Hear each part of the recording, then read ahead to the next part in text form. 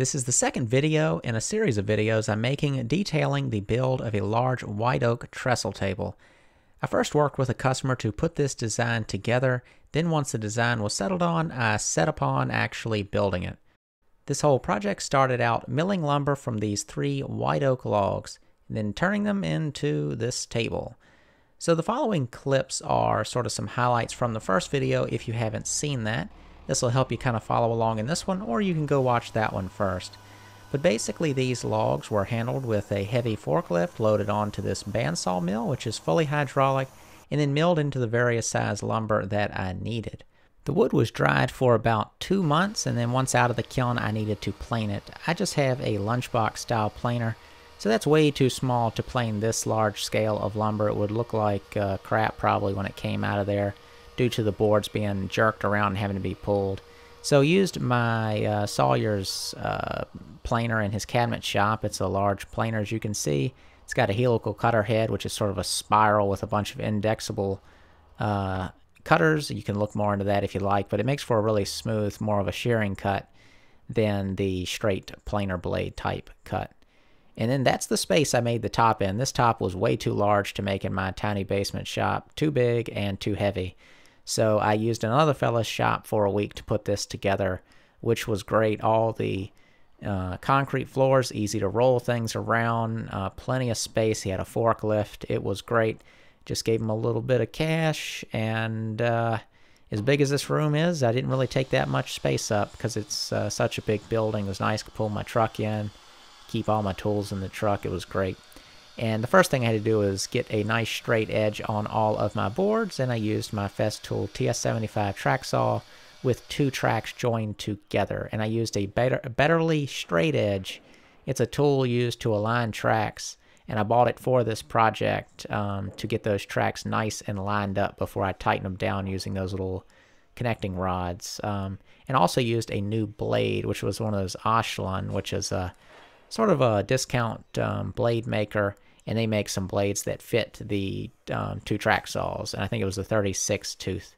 Bought it off Amazon. I'm going to try to put some of these links down in the description below for some of the tools that I'm talking about and using in this video. So what you see me gearing up for here is putting domino uh, tenons in between the boards. And I'm doing this for alignment only, just to where when I clamp the boards up, they don't shift everywhere. I guess there's some additional strength, but there's plenty of strength in a glue joint like this. These are two inch boards. Um, if it wasn't for alignment issues, I wouldn't put any sort of, uh, uh, you know, mechanical thing in between any of the boards, whether it be biscuits or dominoes. But it really simplifies things during the clamp up to not have to worry about things going out of alignment. And dominoes in particular are much more accurate than using um, uh, biscuits. So all I'm doing is I measure down. I think these were 16 inches apart across the 12 uh, foot length and then used a drywall square, which is a very handy tool in a wood shop to make a mark on each board. And then the uh, domino joiner lines up with those marks. You have to cut one in each board. Um, for doing alignment, I use 8 millimeter dominoes and pretty much any table I use with a top that's 3 quarters of an inch or larger, which is uh, most of my stuff has one inch tops. So they were 8 millimeters by um, 50 millimeters. So they go 25 millimeters into each side. I've got another video on my channel of using this tool to make table bases if you're interested. So this is not meant to sound defensive. I don't care what anybody says about any tool I have, but I've heard a lot of chatter on the internet about Festool, um, specifically the Domino thinking of it as sort of like you're cheating or something, when reality, all this tool is, is creating a floating tenon or a loose tenon, which is nothing new to woodworking.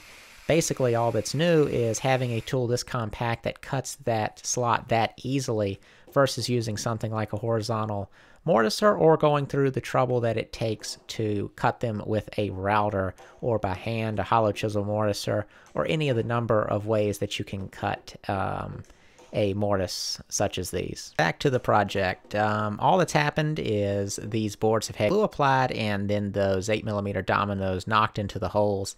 And then to get everything lined up, it was nice to have a helper and having these large sawhorses. I had paper trying to keep the glue off my new sawhorses, which was stupid, so I just had to rip that off because it was getting all in the glue joint.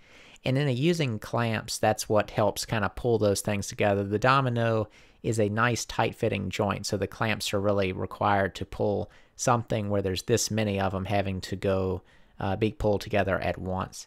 And this is a bunch of Bessey uh, K-body clamps. These were the fellows that I'm using his shop, which was really nice to have. They were kind of tricky to use, in my opinion, versus pipe clamps, but that might just be the older style they are, and perhaps they're more heavily used. I'm not sure. Um, they're just a little tricky to me. I pinched my fingers at them a couple times doing different things. Um, but yeah. Uh, I scraped the glue off the underside, um, or I mean the top side, and then flipped it over and scraped the glue again, and then kind of belt sanded the bottom of the table. And I don't worry too much about the bottoms of my tables. I just get them uh, nice and smooth, but I'm not going to take them to a really high grit. So I'm probably using a, a 100 grit belt or an 80 grit belt or something. And, and then that's the finished surface. And then I'll um, use my orbital sand around the edges on the underside just to smooth it up for people's hands. Any areas where there's a lot more wood to remove than a belt sander is efficient to use, I just use a hand plane and knock it down really quickly. And then later in the video, I'm going to fill all the imperfections in the top with epoxy. And so I go ahead and taped up all of those cracks and any kind of hole at all, any sort of hole at all that comes through the bottom of the table, whether or not I was going to fill it or not, because I didn't know. And while I had it all flipped over, that was the easiest time to do it. And here you get to see me almost drop the entire slab on the floor, which would have could have potentially been a disaster. It's a strong glue joint, but that thing slammed into the floor, it would have been a uh, potential problem. Plus, it would have been heavy to fool with. Um, and so, working alone, I do pretty much everything I do alone. And so, I wanted to include some of those clips in this video, just sort of showing the kind of things you got to do. I call this turtling. Anytime I get under something heavy and pick it up on my back, which includes slabs like this and big slabs of wood, moving them around, and then my tables. I crawl under my tables and I've carried them right into customers' houses on my back when they couldn't help me themselves.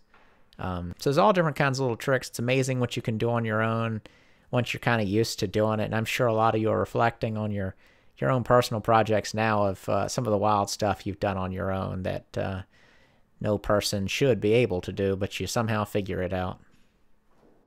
So for this segment of the video, there's not a whole lot to explain. I'm just gluing the two halves up uh, into the single slab that makes up the whole top. It's the same process with the dominoes in between. The reason I glued it up into two halves was just uh, the ease of the job and to make sure that I had enough working time with the glue. So I just glued up one half, clamped that up, clamped up the other half, and then once it was all dry the next day, I clamped it all together just using longer clamps. So same process, bigger clamps. The clips that are coming up in a second are going to be on filling uh, all the knot holes and stuff with epoxy. And there's a number of ways to go about this and brands to use, but what I use is uh, West System 105 epoxy, and I buy it in gallon cans. It is an expensive purchase all at once, but overall it's a much less expensive way to get a lot of epoxy, especially if you're using a lot of it. And I use it for a variety of projects, whether it be woodworking or other projects. And I tint it black with uh, black chalk for chalk lines. And it doesn't come out super black. It's more like a really dark brown. So if you're uh, if you need to use something darker they make different pigments whether they be powder or liquid with the top with the top all glued up I needed to get to work sanding it and since I can't send this through any drum sander that I have or anyone else I know has. I sanded it all out with my belt sander. And mainly that was just sanding down the epoxy and then just kind of feathering out any marks that I made. Uh, the top was pretty smooth from the planer. I did have to kind of remove some ridges for some nicks in the blade, but overall it was a smooth top. So it was very quick just to knock down the epoxy and smooth things out. Then I used my track saw to square the ends. I do all my tables like that. I glue them up long and trim them um, clean on the ends afterwards. Makes for a very clean cut. And I didn't film it, I forgot to, but I just went around the whole table with a router and with just a little quarter round bit and just rounded over the edges just uh, just a little bit. Not much, just to kind of knock off that hard uh, corner. And then I ran over the whole thing very quickly, just maybe five, ten minutes with the orbital sander with some 220 grit and then used the vacuum that I hook up to all of my tools that have vacuums which is a Bosch, uh, it's a nine gallon Bosch dust extractor, which is a fancy word for a vacuum cleaner. Um, I suck off all the dust and I blow it off really hard with air just to really make sure I've got it as clean as possible. It's not the most important thing in the world, but you just want to have it uh, reasonably clean. The customer that ordered this table had other pieces of furniture that they liked, that they wanted this table to kind of closely match in color. So it ended up settling on Minwax Jacobean uh, wood stain. That's just an oil-based stain, and I'm applying it with a cloth. And I had a little, um, uh, I don't know if it was a back and forth or not. I can't remember. Get a lot of comments, but another fellow was saying that I should stain the top and then the edges because it uh, makes for less drip marks on the edges or something like that. But I like to do the edges first, then do the top, then I go back around and wipe the edges. That way, if anything does run during it, it's not this streaky line that soaks in. It's kind of tempered a little bit by the fact that there's already some stain on the edge. Then when I come back around and wipe it off, or just kind of wipe it down with the rag I've been applying the stain with, it just blends right in. And then when it comes time to wipe a stain off, and I usually wait 15 minutes, I really wipe it off, especially on something like oak where it can uh, soak down on the into the pores and bleed out under your finish later as it's off gassing. So I really like to get it wiped down good and let it sit as long as possible before I spray on the clear coat.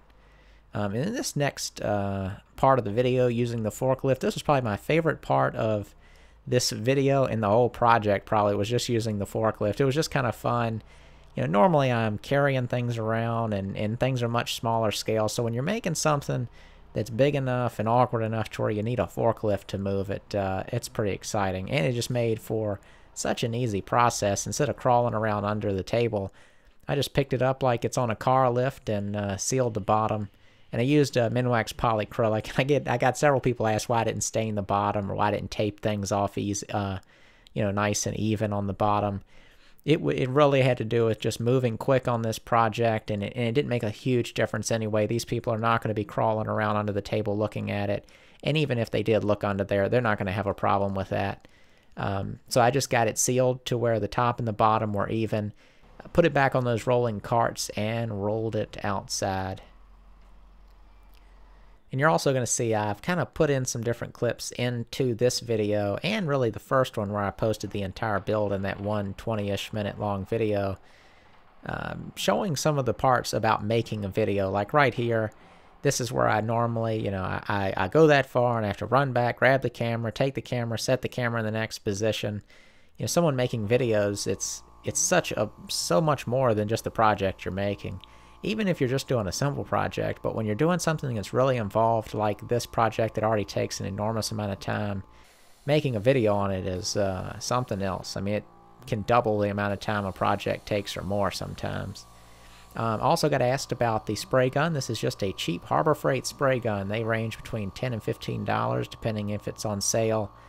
And I'm spraying ML Campbell's, I think it's Magnalac. It's just a pre-catalyzed lacquer and it dries very hard. I really liked it and it dries ultra fast. By the time I was done spraying the table, I could go back to where I started spraying and start sanding. Uh, I did end up, you know, I gave it like five minutes or so, but this is even, um, this is like the week before Thanksgiving right now when I'm doing this, so it's fairly cool outside and it still dried fast. I mean, even at the temperatures that it was. Um, and I think the total amount of coats I did were maybe three or four total. I think, you know, what I've been told is you don't want to go too many coats on um, lacquer. You can risk some different issues happening. And then once it was all said and done and it was all dry, the base was made. The final thing I did on this table, um, right here the table is done, but this is the last step that I did on the actual tabletop, is I buffed out the finish by hand to sort of a satin. And I used 3M finishing pads. They have multiple different grip grits. This is the gray pad. It's the one that's meant to do in-between coats. The white pad, which is the finishing one, was too smooth to actually cut into the lacquer at all. So it didn't really make that much difference. So I stepped it down to the gray pad, which sort of just took that brand new shine off of it and it also took out the streakiness that you get from overspray from a spray gun. Um, and that had a lot to do with the temperature that it was outside. But it really did have a nice, even sheen over it. And I'm not a fan of things looking too shiny. I like a nice, clean looking finish, but I don't want it to look like plastic. And th- this removed any kind of plasticness or plastic like look that the finish had. So in the end, I was very happy. You can see I'm checking there for sheen. And, and I'm not sure if it really shows up in the video, but you know when I was there working it, it was a it was a difference, and it was leaving this very fine white dust on the table, so it was cutting into it. So like I said, in the end, I was pretty happy with the finish. And that pretty much wraps up the video. I hope you all enjoyed it. If you have any questions, be sure to ask them in the comments below or leave a comment, let me know what you think. Um, the next video is going to be much more detailed than this video. In the end, this video really just details joining the edges of some boards, gluing up a top, and putting on the finish. I did want to show a lot of steps, but you know, it required some rambling to fill in all that dead space, so sorry about that. Uh, and um, but the next video is going to be pretty high action. There's a lot of joinery going on, a lot of decisions I had to make. So I think there's going to be a lot to go over in that video, and it'll probably be a little longer than this one, even though this one's gone on for over 15 minutes, I think. I think that is all to say. Um, thanks for watching. See you in the next one.